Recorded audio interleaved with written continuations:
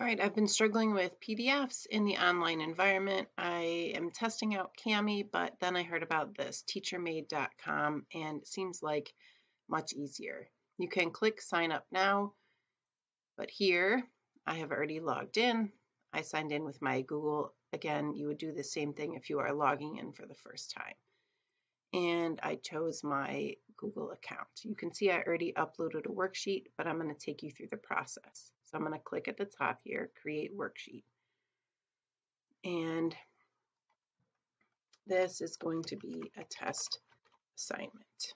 All right, now I can drag and drop. So here on my um, file, here is the document that I had tested with Kami, okay? And I'm going to click create worksheet.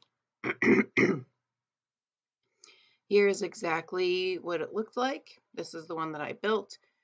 And I can now allow students to edit this document. Okay, so that's simple. Um, create the worksheet. I just pulled it in. I created it. And then I can edit it. If I go back to my worksheets, you'll see now I have two available.